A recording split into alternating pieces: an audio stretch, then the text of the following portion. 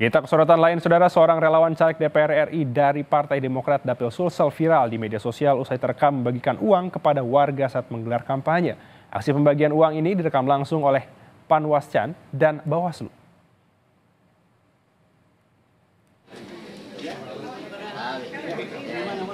Melalui relawannya, caleg DPR RI Partai Demokrat membagikan uang kepada masyarakat di lokasi kampanye di Kelurahan Ekatiro, Kecamatan Bontotiro, Kabupaten Bulukumba, Sulawesi Selatan.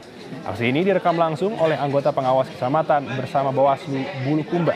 Dari hasil pemeriksaan ditemukan uang sebanyak 50 juta rupiah dengan pecahan 50 ribu rupiah yang dibagikan kepada warga.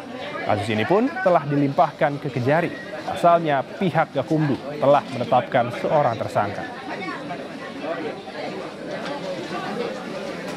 Di situ dia bagi bagi uang sejumlah 50 ribu yang dikemas dalam amplop putih.